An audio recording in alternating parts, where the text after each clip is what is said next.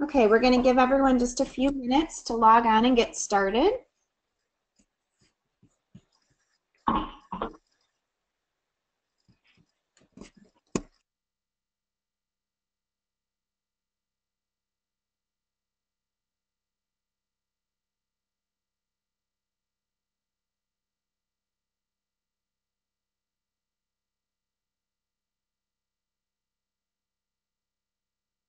I'm just going to give it another minute or so to allow people time to log on.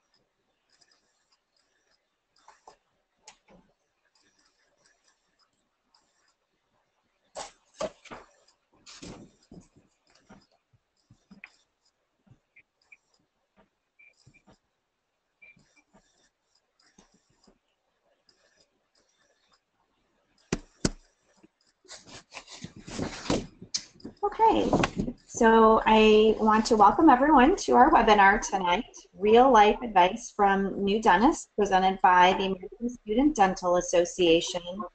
All attendees are muted so that we don't pick up any background noise. This webinar will be recorded and the recording will be posted on our website and will also be sent out to anybody who registered. So I'm Danielle Bauer and I am the facilitator for tonight's program. Um,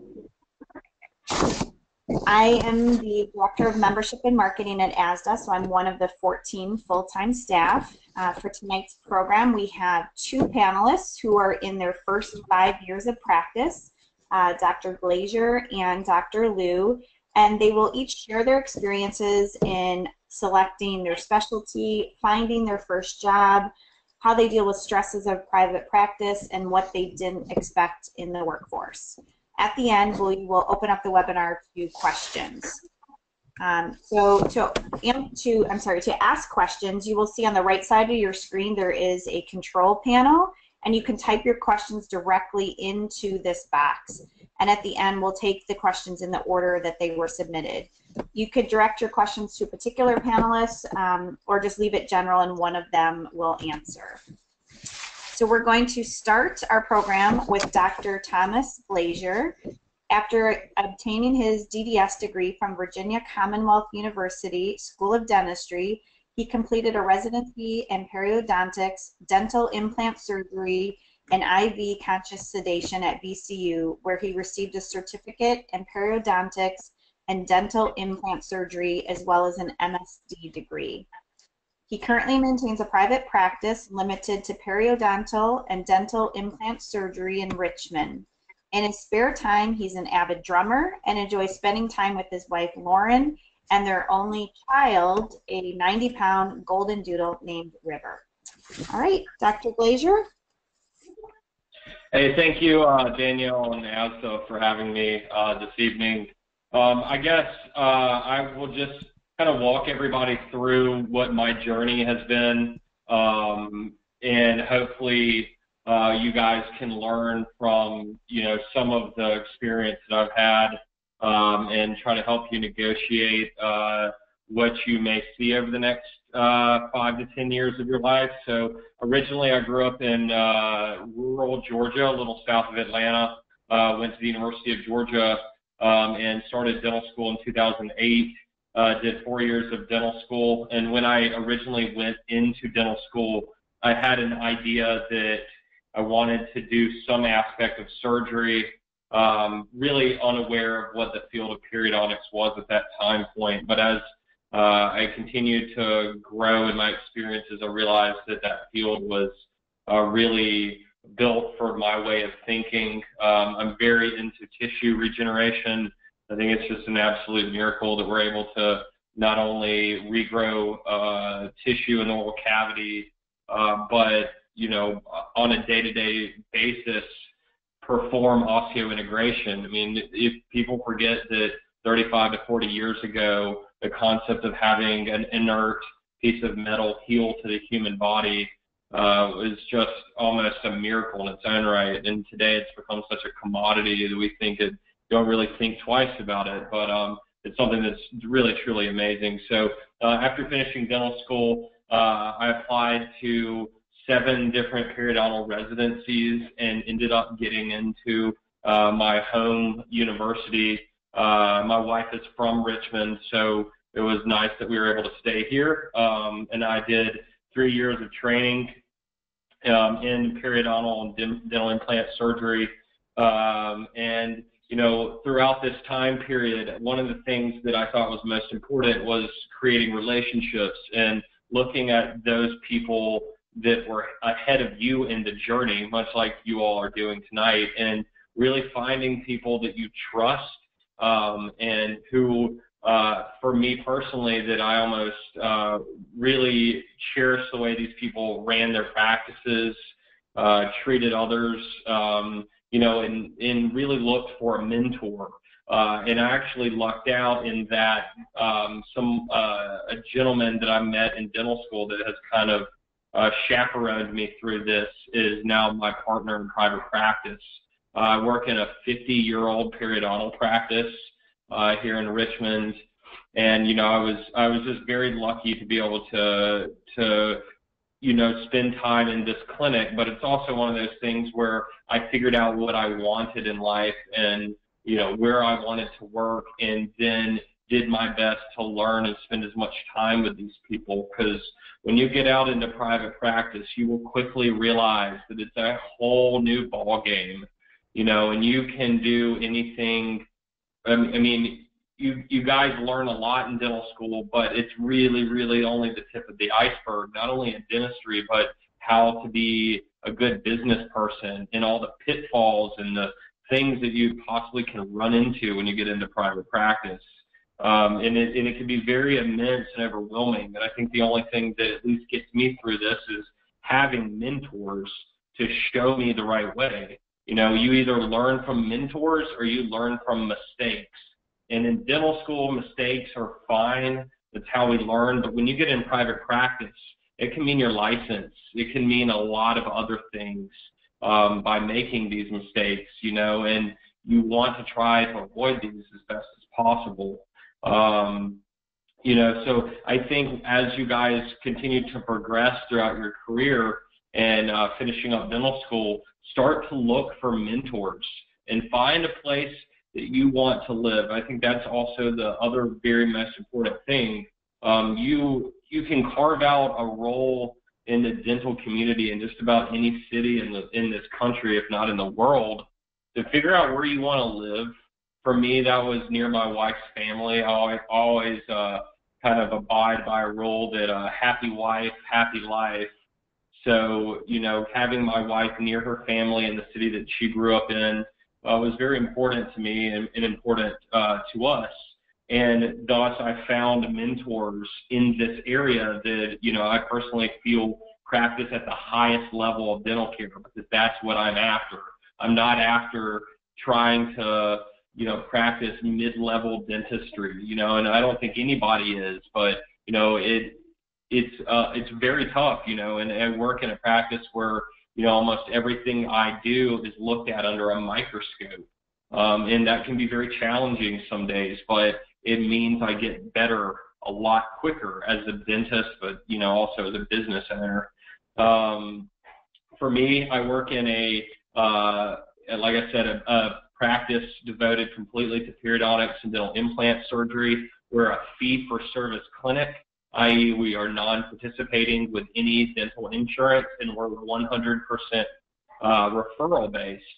So we do very, very little marketing to the general public. And in a lot of larger markets, this has almost died out. But for us here in Richmond, it's quite successful, and it's built mainly on establishing very, very strong personal relationships with the many members of the dental community.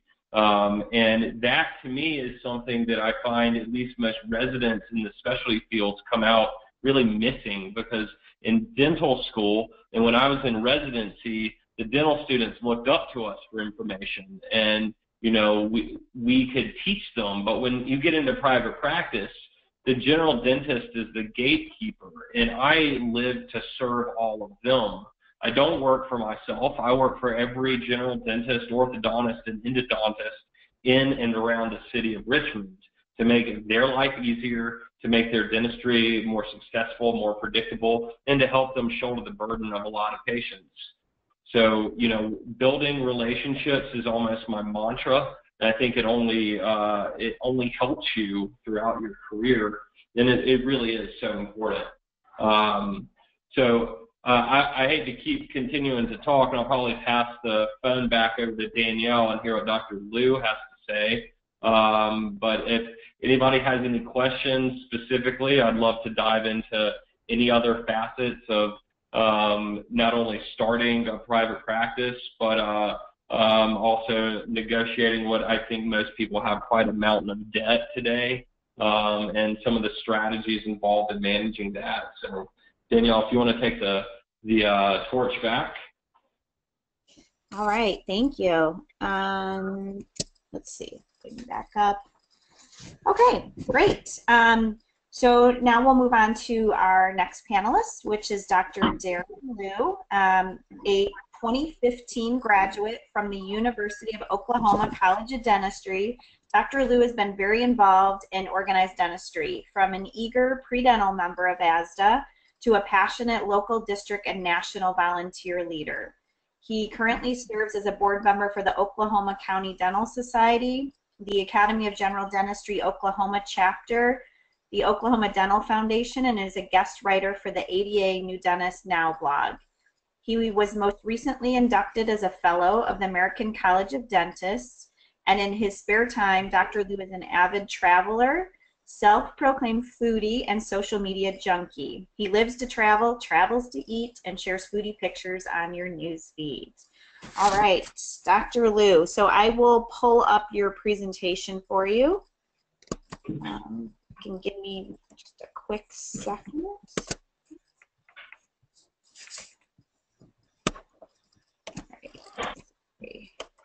There we go.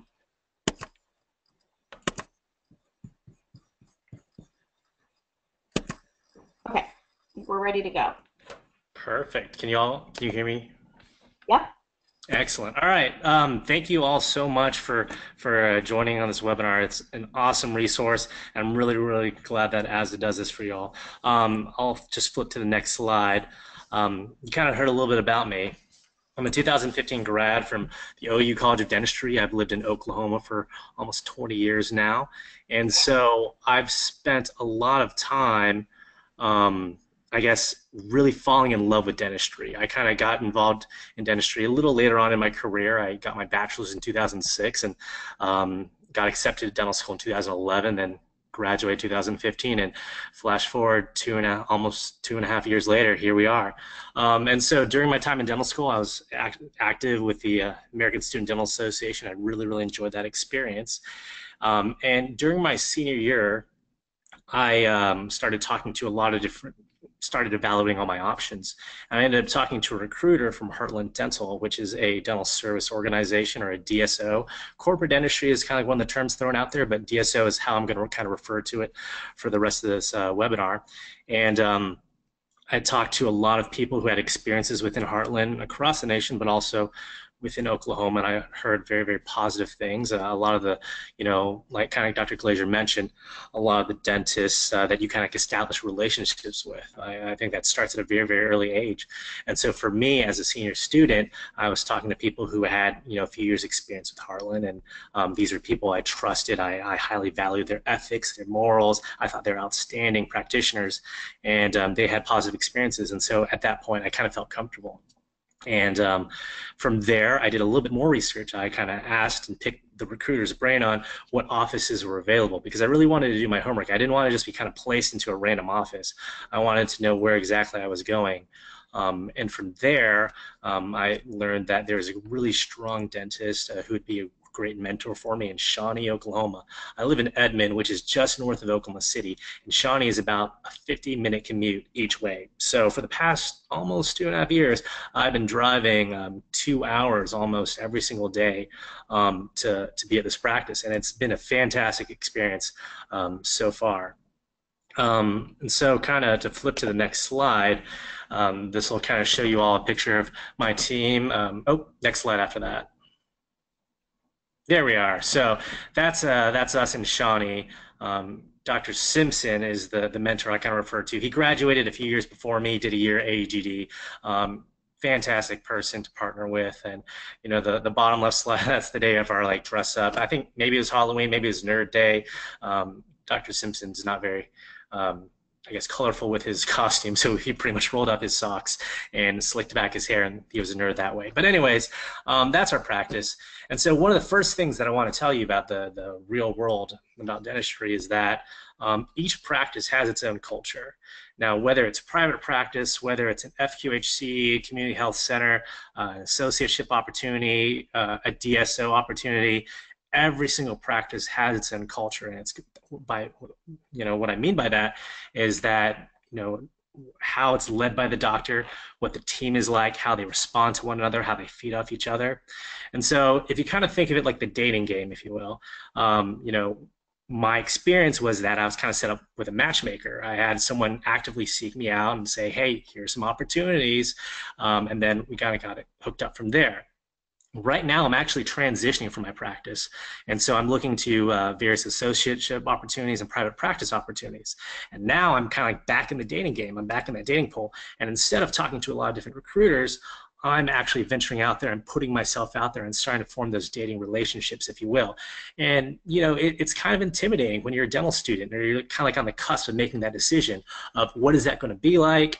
What questions do I need to ask? And, ASDA has a ton of resources for you all. ADA has a ton of resources. There's a lot of resources out there. And my point almost being is that there are almost too many resources, and it, it can be super overwhelming. Now, nowadays, I think our culture is very, very interesting. I think a lot of us try to find like the best of the best of the best. You know, like if I want to buy like, you know, um, something random on the internet, like I'm gonna go on Amazon.com and check out all the reviews. I'm gonna go on Wirecutter.com and read all the reviews. I'm gonna watch like five different YouTube videos of different reviews, and we're gonna do a lot of research. But ultimately, what you're going to find out is that no matter what practice setting you're in, like you will, you're going to do well with the right mindset and the right mentality. And I know that sounds like really, really cheesy and kind of like touchy feely, but that's what it really kind of boils down to. So I'll kind of flip to the next slide right there. Uh, one of the questions that were asked was kind of like, how do you deal with the stresses of practice? Um, and that partnership right there is is how I do it every single day for the past two and a half years. Um, what I talked about earlier, how Dr. Simpson is a fantastic mentor, colleague, as well as just friend, is that some like the best times, it's not when he's like come over to kind of like take a look at a tooth with me or walk me through a treatment plan or kind of, you know, walk me through what he would do in a situation. Those have been absolutely great. But some of the best moments really have been the times that we're in the office like 30 minutes after uh, we've seen the last patient and we are just talking about dentistry. We're just talking about life and we're just connecting. And it, it might be it, it could have been like after a day that I struggled, you know, like you're going to struggle a lot in the real world. But on a day when you struggle and you, you don't have that outlet of like, oh my gosh, like there's there there's so much stress to be perfect with everything that we do. Because you know with dentistry you're kind of working at a very micro level um, and you're dealing with you know increments of like millimeters and it just gets like highly highly technical. So you know you've experienced this in dental school. You're already placing a lot of stress on yourselves as you go throughout the curriculum. You know, they put you in sim lab and you are sitting there waiting like, oh my gosh, like this person just finished like 10 minutes before me and I just broke my model, so I got to start all over again. Um, you know, it, it's that kind of mentality that builds up. And, and so the times when we get to just kind of sit and talk about this is what I feel right now. Like this sucks. Like I wish I could have done this better, or maybe I could have done it this way. And just his reassurance that hey, I've been there. I I know exactly what you're feeling, and you know this is how we can kind of move on from there. I think those have been some of the most rewarding and powerful moments. And it definitely alludes to what Dr. Glazier kind of mentioned that ultimately it's going to be about the kind of relationships that you're that you're able to kind of craft and create. And so between this partnership um, with two doctors in the office, um, leadership kind of branches out from there. And so in the real world, what you're going to find, and maybe you've heard of this before, but the clinical dentistry is definitely one component, but also the team leadership, the team management, that becomes another, another critical moment that you really don't have that much training for while you're in school. You know, in dental school, you're learning technical, technical, technical. You're learning all the fancy terminologies. You're learning all these concepts. But do you really have the opportunity to learn how to talk to people? Do you learn how to manage others, lead others, and help them see your vision. And sometimes you do if you get super involved with extracurriculars and you kind of balance yourself out that way, but not a lot of people do. And so, from that type of partnership that we're able to, to form, um, we're able to kind of try our best. And it doesn't happen all the time, but that's what we constantly try to do. Is we try to be on the same page. We don't try to create a culture of like, okay, go ask mommy or go ask daddy. It's that okay, mommy's going to say, I'm on the same page as daddy, whatever. That's a, that's a weird analogy. But anyways, what I'm saying is that we're, we try to be on the same team. And so when we have issues with our assistants or our dental hygienists or business team members, um, we're able to kind of stay in sync, stay in unison. And that's one of the biggest ways how we uh, kind of deal with the stresses of, uh, of practice. And so on the next slide is it's just a kind of a collection. Oh, that's a terrible joke. On this slide, it's a kind of collection of like some of my favorite memories in dental school.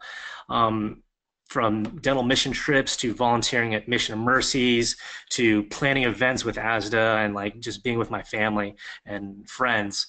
Um, dental school is going to fly by super, super, super fast. And you kind of already noticed, like maybe some of you are senior students and you're going to think back like, what happened to like the past three years. I still remember, you know, like my brand fresh new scrubs, sitting in pre-sim lab and looking at all like the shiny handpieces, and now you're kind of like in the thick of it.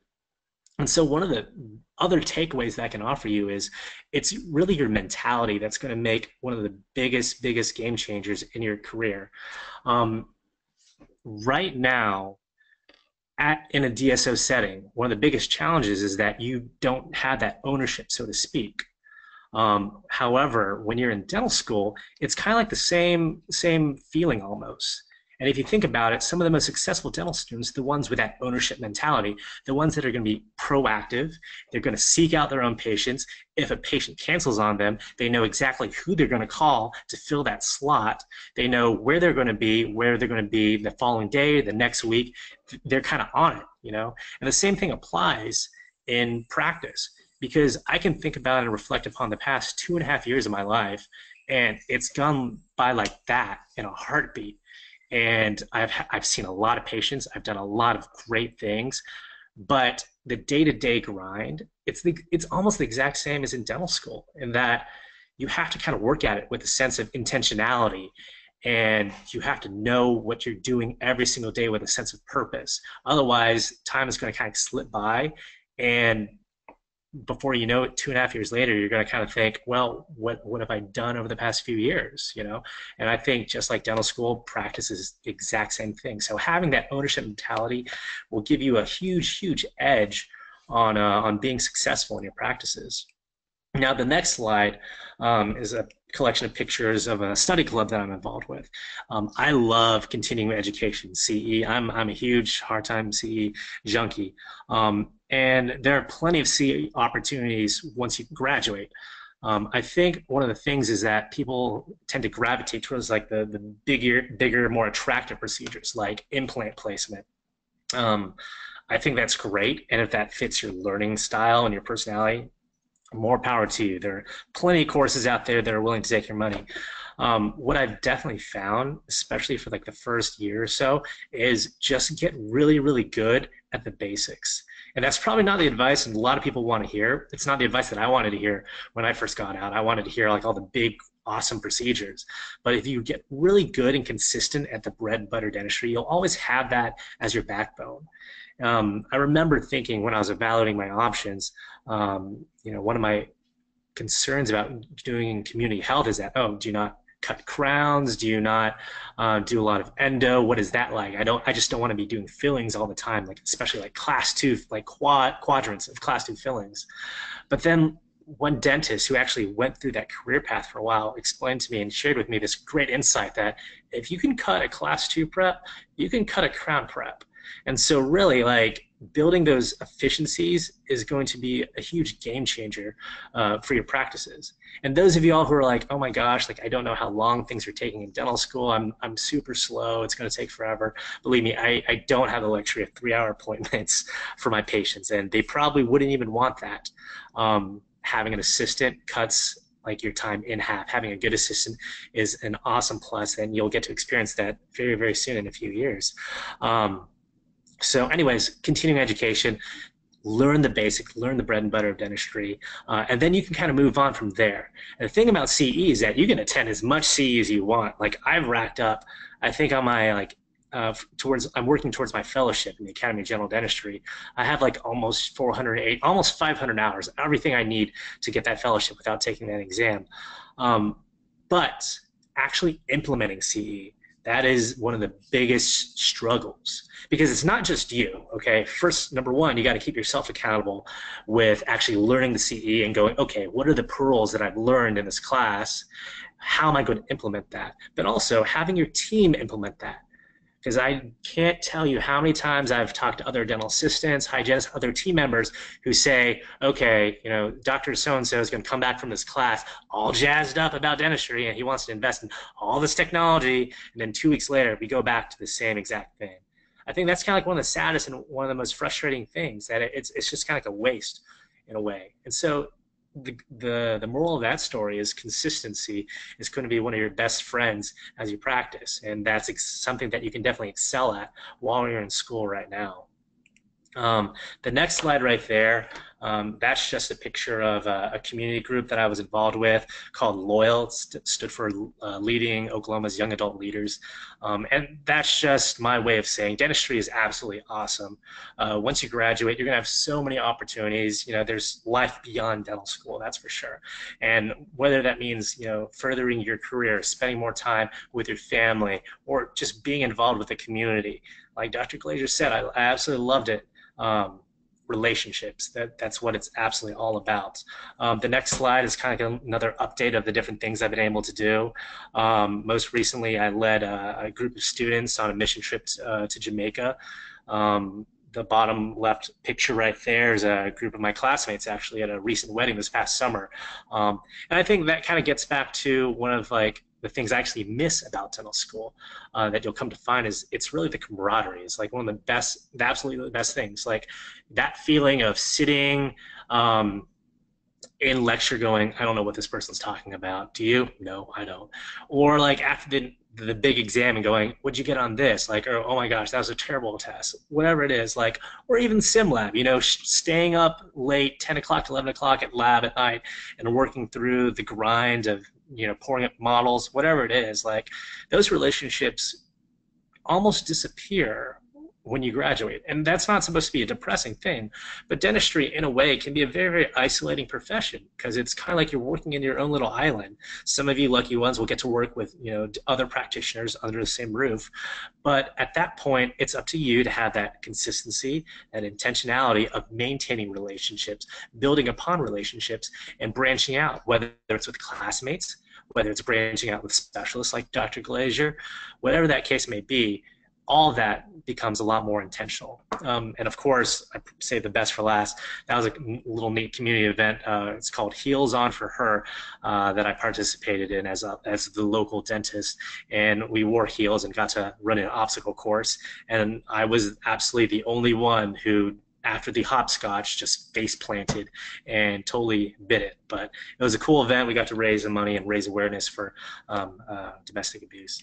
So the next picture right there um, on the next slide, that's um, that's my dental team right there. Uh, one of my dental goals was to take bring my dental team to Mission of Mercy, um, and so that's that picture on the left hand side, and the right side is when we were at a community event. So um, a lot of cool things out in the store for you all. You're all going to take different paths, different learning uh, opportunities, and there, there's no wrong way uh, kind of like Dr. Glazier mentioned, you know, you're going to have your degree, you're going to have your your um, degree in dentistry, your DDS or DMD, and that's yours to cherish and protect, and do absolutely what's best for your patients. Um, if I can leave you with any last pieces of advice, um, what you can do now in dental school, track your accomplishments, meaning um, keep track of like how many procedures you're doing, um, and then start kind of timing yourself in, in, in a way. Um, set a little timer on your smartphone, stopwatch, whatever that may look like, and recognize how long it takes you to kind of go through whatever procedures, whether it's walking a patient through um, you know, a comprehensive exam, or whether it's for an, your anesthesia or your, your first filling, whatever that may be, track it because without metrics, without a way to actually tangibly evaluate how you're performing, you're just going to be kind of doing whatever. Um, and that's something that you can kind of get into the habit right now when you're in school. Um, another kind of silly, touchy-feely thing, but really, close this webinar down after we're done. Write down what kind of dentist you want to be. Write down your vision. Um, and that kind of feeds back into what I talked about earlier about accountability and uh, consistency and intentionality. Because without that, you're just kind of going to be doing whatever and kind of flown out there. And you'll get results, but it's up to you if those are the results that you want. Um, things that also you could work on now are patient communication. One of the funniest things about dental school is that you learn, you spend so much time and effort to learn the technical. And so then you're throwing all this technical jargon at your patient when you're kind of trying to talk them through a treatment plan.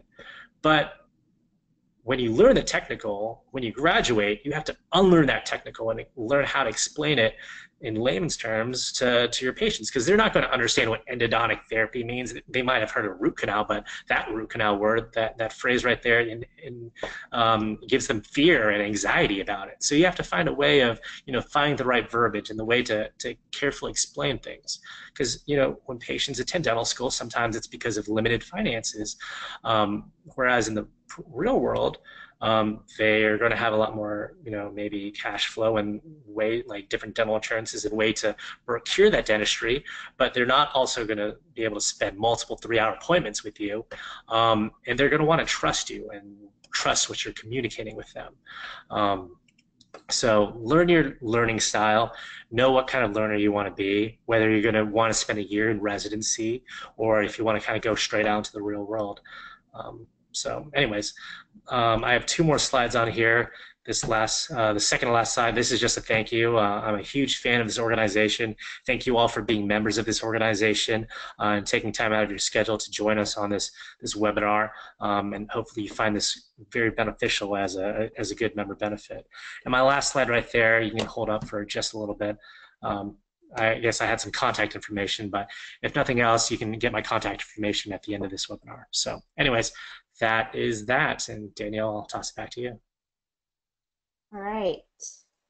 Thank you. A uh, lot of good advice and tips. Um, all right, I am going to, sorry, take us back to the other presentation for a moment. Um, here we go.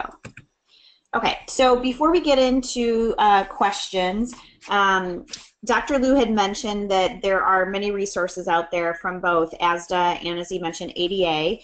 Um, I wanted to share with you a sort of um, new area of resources for ASDA, which is our Career Compass. And we launched this in April. And the, the goal of this is to help the help students prepare for graduation and transition to that first step in their career. So um, the areas that are listed there is kind of how the site's broken down. So there's some resources for graduation and career options, so things on licensure and the various options you have, whether you want to go um, into a specialty or general or military or whatever those options may be. There's uh, resources for different post-grad programs and what to consider. Um, the option of if you just want to go and get a job, what options are there. Um, you know, if you're going to go to an associateship, what you need to look for in a contract, and then some financial and practice management. So the website at the bottom will take you directly to that site. Um, we're going to be continuing to offer uh, more and more resources through Career Compass, um, webinars like this, uh, information online, information in Contour. Um, so you can watch for that Career Compass uh, brand.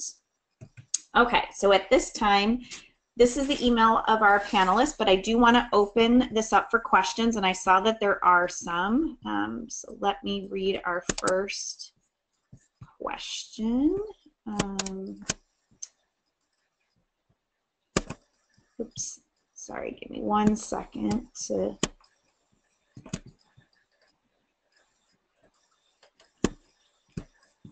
All right.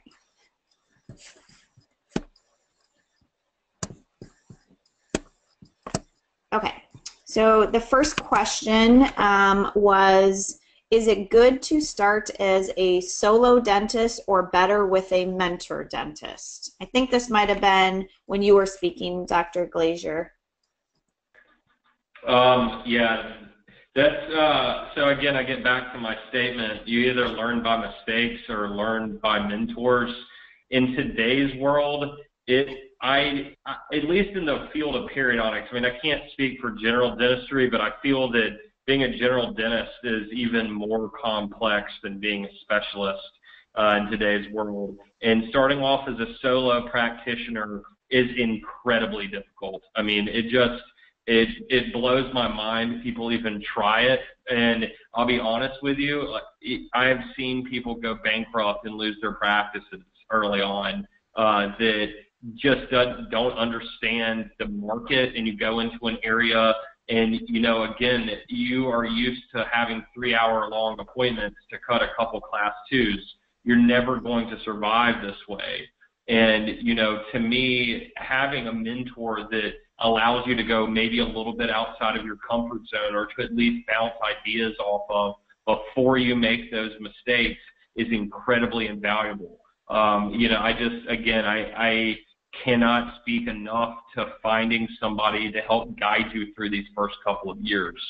You know, and if you're going to start your own shop, I would have somebody that maybe if they're not in your practice, that you can at least call up and ask questions. Because when you get out, you're going to have a zillion and a half questions. I mean, correct me if I'm wrong, um, Dr. Liu, but I mean, every single day during these first couple of years, it's like, okay, is should I put that in my note? Should I not put that in my note? Um, I mean, just I'm just trying to think of all the things. Is all right? Can you explain all the ins and outs of OSHA regulation in your office? You know, uh, what happens if you have an emergency? You know, I mean, there's just so much stuff uh, that is just never covered in dental school. Um, so I, I I think to come out and think you have it all uh, figured out enough to start your own business is a bit naive and um, it's very very expensive to do and to start up uh, your own practice too. I mean, this is additional debt you're going to have to shoulder yourself. Okay, great. Um, I think this one is probably directed towards you, Dr. Liu. I was wondering why you chose to go into a corporate dental practice out of dental school. Great question. Um, I think it's funny, like in dental school, you kind of hear a lot of negative things about it, but I always had the personality that I kind of wanted to experience it for myself. Um, and, you know, ultimately, whether you're in a corporate practice, a DSO, or a private practice, you know, you work as the doctor. Like, you, you, you are the practitioner, you're the one with that license. So, you know, every single decision that when I took a burr to a tooth um, was my decision, my decision alone. Now, you know, I, I, think, and I've heard absolute horror stories about, you know, DSOs, but I've also heard really bad stories about private practices. So one of the th- first things I talked about was how every practice in itself has its kind of like own culture, if you will. So when you're going through that process of interviewing and kind of dating practices, spend time with them, ask them those questions, ask them what they would do with this scenario. Are they going to maybe are they willing to go into uh, work on the weekend if they have an emergency patient? Like do they you know contact their patients as follow-up uh, after treatment? Will they do this or that? Like things like that and really just kind of get a feel for how they practice and what their philosophy is. Um, you know I, I spent the past two and a half years with in a dso setting. I have absolutely no regrets. And uh, you know every patient I treated, I treated as my own if it was my practice or somebody else's practice. Um, I think you know DSOs kind of get like a really bad reputation these days, um, but kind of like I said earlier, I'm going to start repeating. But um, every place has its own culture, and so that's kind of up to you to have that experience. Um, so another question to you is why did you choose not to do like a GPR or an AGD? Why did you decide to go straight into practice? Great question as well. Um, so I actually applied to an AGD. Um, I did not get in, and that's how I ended up where I did. Um, I have a lot of um, you know senior dental students ask me about that journey and that experience. Um, my recommendation: always apply. Like always have your options. Um, and it kind of goes back to how I ended my presentation on understanding your learning style, because some people, if you're a senior student and you're like just tired of the academic environment that might not be the best fit for you. But one of the best things I always heard was that, um, you know, an AGD or GPR is like the best year of hands-on CE that you could ever receive. Um, so not all residency programs are alike. Um, there's some that are more, you know, have a higher emphasis on surgical. There's more that have like that private practice model, so they're going to kind of teach you more of the business as well. So definitely do your research. If I had to do it over again, um, I'd probably go the exact same route, just because I've learned so much over the past two years. Um, I, I've made a decent income as well, and I've been able to funnel that income back into continuing education. Now, does that absolutely top what in residency could offer? Maybe, maybe not. But you know, I know you all are trying to make like that absolutely perfect decision right now, right this moment. So if you kind of feel that hesitation and you're, you're kind of interested in residencies, apply and see what else is out there. And then at that point, weigh your options. Because I can guarantee you, like Dr. Glazier mentioned, if you find a good mentor, you can learn a ton. So that's my thought on that. I think this question maybe you could both answer. Um, they're asking how long do you think it will how long do you think it'll take to pay off your loans? Not as quickly as you'd when like. Pro- probably when i'm dead. No i mean so that's a good question. All right and what's very interesting is that i think that um, and depending on what route you take um, all right, so here's here's how this works, especially if you're going towards an owner route of a practice. You're going to have your student loan debt, and then in order to get a loan to either buy into a practice, to buy a practice, to buy somebody else, the bank is going to basically, well, the other part of this is, you know, I didn't want to rent a home for a tremendous amount of time. So then you start having to realize that you've got to buy a home typically before you can buy a practice. It doesn't always work out like that, but if you do it the other way where you go to get a loan for a business, then the bank is usually going to require at least several years of balance sheets to see that you're going in the right direction before you're ever going to get any more money to purchase a home. So which you think you have a lot of debt in student loans is only going to go up as you get into private practice. And unfortunately, I've not really seen any other way to do this. Um, but the interesting thing is, is as you you the whole point of, of at least in the path that I've taken, the whole point in ownership is to increase your cash flow. So as you start to get paid more based off of your equity, that you own, you can start then dedicating more and more of that towards your student loans. But I would not think, you know, at least for me personally, it's going to take probably until I'm 40 before I start really turning a crazy good profit. However, the other part of that is that your quality of life throughout this time period is not terrible. I mean, you're going to find out that you can get some really nice financing options for homes when you get out and practice. a lot of banks that offer physician and doctor loan packages you know, and so I may be a lot in debt, but I still enjoy a pretty nice quality of life throughout all of this. And it's just a matter of time. I mean, this is just part of your journey, and you've got to learn to enjoy the journey. You know, I don't think anybody got into this to get rich. And if you did, you know, I, I'm sorry, but, you know, I don't want to burst your bubble. I mean, you're going to live nicely, but it's going to take time to get to to a point where you're really, you know, building up a large sum of, of, of money, you know. So uh, it's going to take some time. Yeah, I'll, I'll, just echo those comments for sure. Um, I think the only thing I would add is that if you're asking that question, then you're miles ahead of everybody else. Because I know plenty of people who are in my class and plenty of dental students who don't even think about that, and they keep withdrawing outrageous sums of money um, and using loan money for whatever. Now, I'm not saying don't travel, don't you know live while you're in dental school because you have to have those ways to kind of balance out all that stress um, whether that's to travel or whatever that is.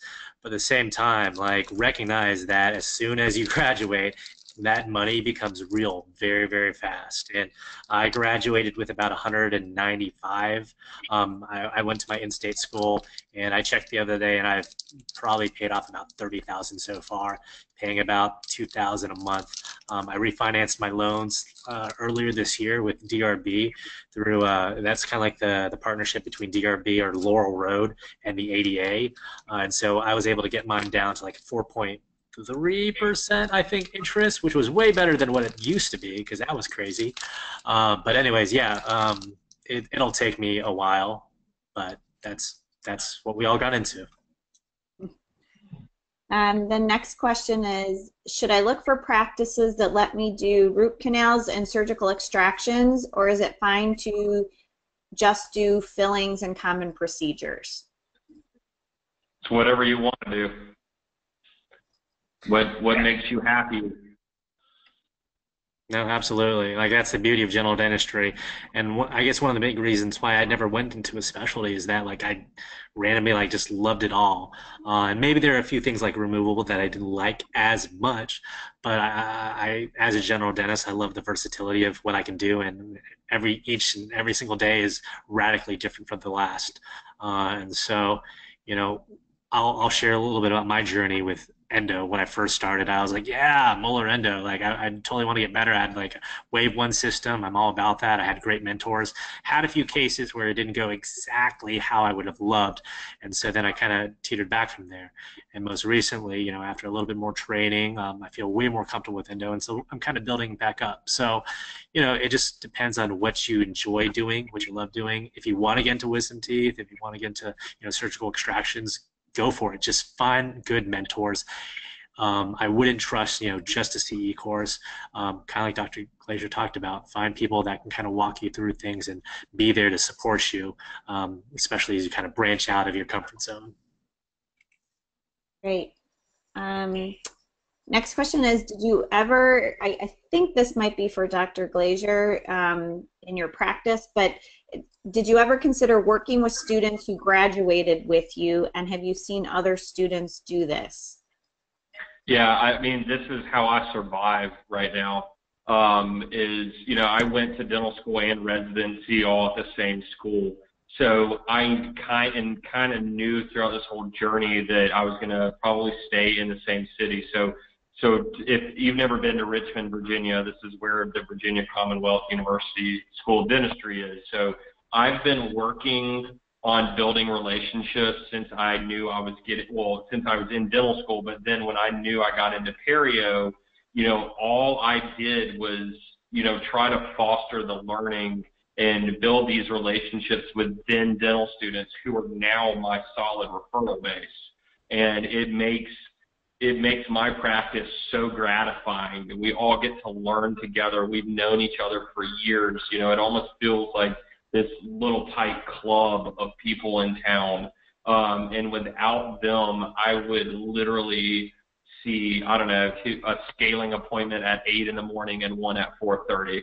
Like I almost kind of, when I first started out, it was so slow. I wanted to get in the street and just, I don't know, have my assistants punch people in the back alleys to get me give me implants to put in. You know, I mean, it's a joke, but you know, it it can be quite slow from a specialist perspective that builds that building a practice is referral based. Um, you know, and that it you're so yes, uh, you know, I love all of these former students, whether they be um, people that were in my dental school class or younger or a couple years older. You know, it's it's been a fantastic experience. Great. Um, so the only other um, thing we had somebody sharing a suggestion, not a question. They said that there is a podcast called Shared Practices, which interviews multiple dentists and experts and answers a lot of questions similar to this. I don't know if you guys have ever heard of Shared Practices, but I guess for any of the participants, it might be something to check out as well. All right, well, it doesn't look like we have any more questions, so um, I would really like to thank both of our panelists, Dr. Glazier and Dr. Liu. Um, you guys were really helpful, shared a lot of good information, good advice. Um, as I mentioned earlier, this is recorded, so we will post this on our website and we'll send out a link to anybody who registered uh, once the recording is posted. So I would really like to thank any everyone for participating in tonight's program. We'll also send out a brief survey um, that we would really appreciate your input that helps us determine what topics and um, you know what types of resources that we offer in the future. So thank you so much. Everyone have a good night. Thank you. Thank you.